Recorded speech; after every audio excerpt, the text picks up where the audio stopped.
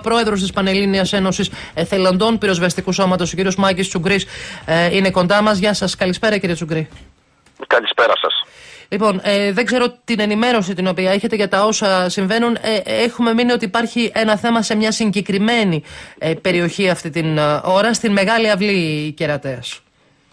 Ακριβώς ισχύει αυτό που λέτε. Υπάρχει γενικότερα όμως ένα θέμα στην περιοχή, γιατί είναι πάρα πολύ δύσκολη η πυρκαγιά. Υπάρχουν ισχυροί άνεμοι, ψηλές θερμοκρασίες, όλα αυτά που λέγαμε αυτές τις μέρες, ότι αποτελούν ένα εκρηκτικό μείγμα αν έχουμε ναι, μια έναρξη πυρκαγιάς.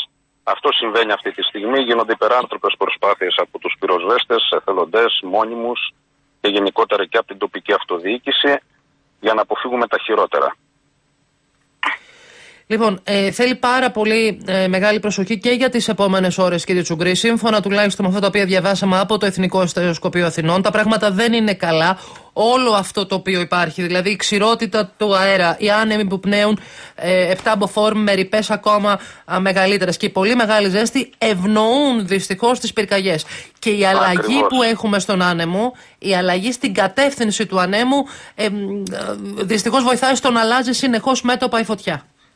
Ναι, δεν είναι μόνο τις επόμενες με... ώρες, είναι τις επόμενες μέρες. Έτσι όπως φαίνεται θα πάει η δουλειά και θα έχουμε ξανά ισχυρούς ανέμους, υψηλές θερμοκρασίες όλη την επόμενη εβδομάδα.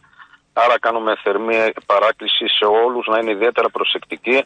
Έχει αποδεχτεί ότι από αμέλεια συμβαίνουν πάρα πολλές πυρκαγιές.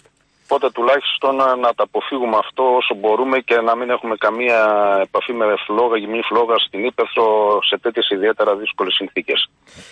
Μάλιστα. Λοιπόν, σας ευχαριστώ πολύ κύριε Τσουκρή. Να είστε καλά. Καλή συνέχεια να έχετε. Ο πρόεδρος της Πανελλήνιας Ένωσης Εθελοντών Πυροσβεστικού Σώματος, ο κύριος Τσουγκρής.